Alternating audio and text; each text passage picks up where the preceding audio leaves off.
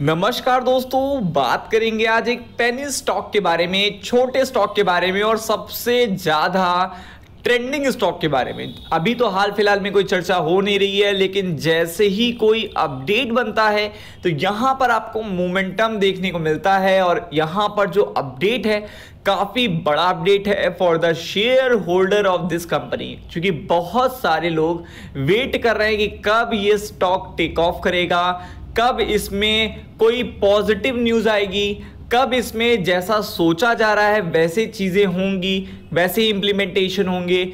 और आपको पता है, क्योंकि स्टॉक छोटा है तो यहाँ पर दो लोग काफ़ी एक्टिव रहते हैं। दो लोग बहुत ही ज़्यादा एक्टिव रहते हैं। वो लोग कौन है? एक तो ऑपरेटर्स सेकेंड अगर आप देखेंगे तो रिटेल इन्वेस्टर और आपको यहाँ पर कई सारी बारीकियाँ बताऊँगा, और किन लेवल के ब्रेकआउट के बाद आपको मोमेंटम देखने को मिलेगा। तब तक आपको वेट करना है। एक एक बात समझाएँगे तो वीडियो में कई सारे की हाइलाइट्स पॉइंट हैं तो वीडियो को सर थोड़ा सा ध्यान से देखिएगा क्योंकि कंपनी के फंडामेंट बहुत ही खराब हैं। तो दोस्तों, जैसा कि आपको देखने को मिल रहा होगा कि स्टॉक में वॉल्यूम बहुत अप रहते हैं। अगर आप देखेंगे तो हमेशा एक मंथ का आप अगर व्यू देखेंगे, दो महीने का देखेंगे, तीन महीने का देखेंगे तो आप हमेशा देखेंगे तो यहाँ पे वॉल्यूम्स हमेशा अप रहते हैं। इवन टेन पैसे ट्वेंटी पैसे थर्टी पैसे के लिए भी यहाँ पे ट्रेडिंग होती है और विद ह्यूज वॉल्यूम होती है। जैसे ही कोई पर्टिकुलर इवेंट बनता है लाइक रिज़ल्ट आने वाले हों, या फिर कोई मैनेजमेंट की कमेंट्री आने वाली हो, या फिर इस पर्टिकुलर सेक्टर से रिलेटेड कोई अपडेट आने वाली हो तो यहाँ पर वॉल्यूम्स क्या हो जाते हैं? ड्रास्टिक चेंज आता है, एकदम अप हो जाते हैं। अब यहाँ पर एक अपडेट देखने को मिल रही है तो आप देख सकते हैं किस तरीके के वॉल्यूम है। 81 करोड़, अगर आप देखेंगे, किस तरीके का इंगेजमेंट है, किस तरीके की लिक्विडिटी स्टॉक को देखने को मिल रही है, और जब जब वॉल्यूम बनते हैं, जब जब कोई बड़ा अपडेट होने वाला होता है, तभी हम आपको वीडियो प्रोवाइड करते हैं और हम आपको वीडियो के जो मतलब कहते हैं कि ना शेयर्स के जो बैड इफेक्ट्स हैं जो लिमिटेशंस हैं वो भी हम आपको बताते हैं ताकि आपको गाइड करने में कोई भी दिक्कत ना हो। तो यहाँ पर देखेंगे वॉल्यूम्स अप हुए हैं। वॉल्यूम्स अगर अप होते हैं तो क्या देखने को मिलता है? प्राइस एक्शन तो यहाँ पे वॉल्यूम्स तो अप हो चुके हैं और प्राइस एक्शन भी अभी आपको थोड़ा आ, बहुत देखने को मिल चुका है। लेकिन यहाँ पर जो डिलीवरेबल क्वांटिटी है वो भी बहुत शानदार है। यहाँ पे आप चेक करेंगे तो आज का वॉल्यूम आपको देखने को मिल जाएगा अपर बैंड और लोअर बैंड देखने को मिल जाएगा और यहाँ पर देखेंगे 21 परसेंट की डिलीवरी देखने को मिल रही है। चेकआउट करेंगे अगर आप 21 परसेंट की डिलीवरी देखने को मिल रही है और 14 करोड़ से भी ज़्यादा के शेयर्स यहाँ पर डिलीवरी में उठाए गए हैं। तो आप समझ सकते हैं, काफ़ी ज़्यादा इंगेजमेंट है यहाँ पर और स्टिल बहुत सारे लोग इसमें सेलिंग पे भी लगे हुए हैं। अगर आप देखेंगे 33 लाख के आसपास के शेयर्स की सेलिंग भी लगी हुई है तो स्टॉक में काफ़ी ज़्यादा वोलाटैलिटी है और अपडेट्स आना शुरू हो गए हैं। तो क्या अपडेट है, ये जान लेते हैं। स्टॉक का नाम जान लेते हैं। तो स्टॉक का नाम आपके सामने आ चुका है। स्टॉक का नाम है आइडिया वोडाफोन आपको पता है आइडिया वोडाफोन में मैक्सिमम टाइम जब भी कोई अपडेट आता है तो यहाँ पे वॉल्यूम तो इंक्रीज होते ही होते हैं, साथ ही साथ आपको काफ़ी बढ़िया प्राइस एक्शन देखने को मिलता है। बट स्टिल कहूँगा इट इज़ वेरी रिस्की क्योंकि आपको पता है स्टॉक के फंडामेंटल क्या है, ये भी डिस्कस करेंगे। अभी के लिए जो खबर आई है, वो देखे थोड़ा सा डिस्कस कर लेते हैं। तो यहाँ पे अगर आप चेक करेंगे तो यहाँ पर सबसे बड़ी नीड क्या है? आइडिया वोडाफोन के बारे में। सबसे बड़ी नीड है लिक्विडिटी कैश रिक्वायरमेंट इनके पास पैसे की कमी है फंड रेजिंग इस चीज़ की कमी देखने को मिल रही है। आपके पास कितने स्टॉक हैं? आइडिया वोडाफोन के वीडियो के नीचे कमेंट करके बताइएगा।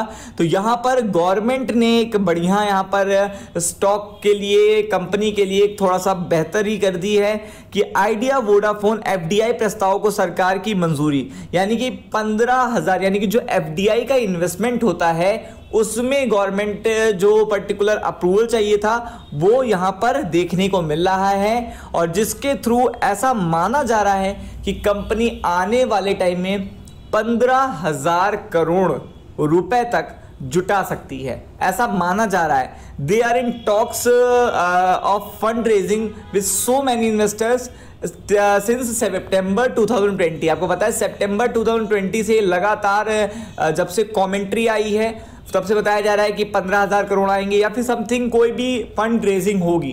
बट स्टिल अभी तक यहाँ पे कोई एग्जीक्यूशन इंप्लीमेंटेशन नहीं देखने को मिला है। They are in talks with the so many investor अगर आप देखेंगे, बहुत सारे इन्वेस्टर के साथ ये बातचीत कर रहे हैं, वार्तालाप चल रही है। लेकिन जब तक एग्जीक्यूशन नहीं होता, पैसा आ नहीं जाता, तब तक आप उसको कंफर्म ना मानिए। लेकिन गवर्नमेंट की तरफ़ से काफ़ी बढ़िया अगर आप देखेंगे तो यहाँ पे government okays up to rupees fifty के crore FDI investment proposal from Vodafone Idea तो गवर्नमेंट ने देखिएगा ओके कर दिया है। ये एक पॉजिटिव अपडेट है क्योंकि कंपनी अगर किसी भी तरीके से अब आ, फंडिंग ला पाती है तो उसे किसी तरीके की रुकावट देखने को नहीं मिलेगी। लेकिन अभी भी but no fund raising deal sealed yet यानी कि कोई भी कंफर्म्ड एक पोटेंशियल इन्वेस्टर के साथ कोई भी कंफर्म्ड यहाँ पर फंड रेजिंग डील कंफर्म नहीं हुई है। तो आप देख सकते हैं किस तरीके से। तो यहाँ पर ये आधी अधूरी आपको अपडेट नहीं देखनी है। एक तो पॉजिटिव अपडेट है बट सेकंड अपडेट पॉजिटिव तब होगी जब यहाँ पर फंड रेजिंग की न्यूज़ का कंफर्मेशन आ जाता है। तो ये बहुत बड़ी खबर है। अगर आप यहाँ पे चेकआउट करेंगे तो एफ़ इन्वेस्टमेंट प्रपोजल जो किया गया था वोडाफोन आइडिया की तरफ़ से तो उसको देखिएगा, मंजूरी भी मिल गई है। और यहाँ पर डायरेक्ट इन्वेस्टमेंट के थ्रू अगर आप देखेंगे, यहाँ पर हो सकता है आने वाले टाइम में आपको फंड रेजिंग होते हुए देखने को मिले। The person added that government not is an enabling approval no fund raising deal has been sealed yet अभी तक कोई भी नहीं हुई है, जैसा कि मैंने आपको बताया। इसके अलावा अगर आप देखेंगे when the fund raising announcement was made the board said that the maximum capital to be raise from one source was fifteen thousand crore यानी कि अगर फंड किसी भी एक पर्टिकुलर प्लेटफॉर्म के थ्रू किसी भी एक पर्टिकुलर सोर्स के थ्रू आना चाहते हैं तो उसका जो मैक्सिमम अमाउंट होगा, वो पंद्रह हज़ार करोड़ रुपए होगा। और it is enough for the Vodafone Idea for current situation आप समझ सकते हैं कि किस तरीके से इनका जो सब्सक्राइबर बेस्ड लॉस हो रहा है। और सब्सक्राइबर बेस के बेसिस पे आरपू भी लॉस हो रहा है तो बहुत सारी चीज़ें हैं। अब बात करते हैं, ये तो हो गया पॉजिटिव अपडेट बट स्टिल अभी देखिएगा, यहाँ पर आने वाले टाइम में जब तक कंफर्मेशन नहीं आता, तब तक आपको बड़ा मूवमेंट नहीं देखने को मिलेगा बट एंगेजमेंट शुरू हो चुका है, अगर आप यहाँ पे चेकआउट करेंगे। तो यहाँ पर सबसे पहले अगर आप देखेंगे तो यहाँ पर स्टॉक कंसोलिडेशन के जोन में। स्टॉक में कोई बड़ा मोमेंटम अभी तक नहीं आया है, क्योंकि मैक्सिमम लोग जानते हैं कि कई बार स्टॉक देखिएगा भागता है। एक महीने पहले भी देखिएगा स्टॉक भागा था, और उसके बाद अगर आप देखेंगे डाउनफॉल आ जाता है। अगर आप बात करते हैं थोड़ा टाइम पहले की तो छह महीने पहले अगर आप देखेंगे तो स्टॉक तेरह रुपए तक भागा था, वहाँ से लगातार डाउनफॉल आया था। तो कई बार ऐसा हो चुका है कि आइडिया फोड़ा, फ़ोन में स्पेकुलेटिव न्यूज़ के बेसिस पे स्टॉक में रनअप होता है और ऊपर के लेवल पे लोग फंस जाते हैं और फिर उसमें देखिएगा वेट करते हैं, फिर निगेटिव न्यूज़ आती है और फिर उसके बाद क्या होता है, वो लोग लॉस बुक कर लेते हैं। तो इसीलिए कहते हैं कि बहुत सारी दिक्कतें, पहले तो देखिएगा स्टॉक में दिक्कतें क्या है? एक तो इनके जो मार्केट शेयर है, वो कम हो रहा है। सेकेंड चीज़, इनके कॉम्पिटिटर और ज़्यादा एग्रेसिव हो रहे हैं और वो रिसर्च एंड डेवलपमेंट पे काम कर रहे हैं। 5G नेटवर्क आने वाला है। इनकी कैसी तरीके की तैयारी है, अभी पता नहीं है। फंड रेजिंग इनको देखिएगा डेप्ट चुकाने के लिए चाहिए। डेप्ट बहुत ज़्यादा है। तो बहुत ज़्यादा इनको स्ट्रगल करना है पैसा आने के बाद भी। उसके बाद इंप्रूवमेंट करना है, फिर कॉम्पिटिट करना है। जब ये सारी चीज़ें एग्जीक्यूट होते हुए देखने को मिलेंगी, तभी स्टॉक में अच्छे मोमेंटम देखने को मिलेंगे। तो जल्दबाजी में कोई भी फैसला मत लीजिएगा। जितने लोग भी बैठे हैं तो उनको वेट करना चाहिए कि फंड रेजिंग हो जाए तो आपके लेवल्स आपको देखने को मिल जाएँगे।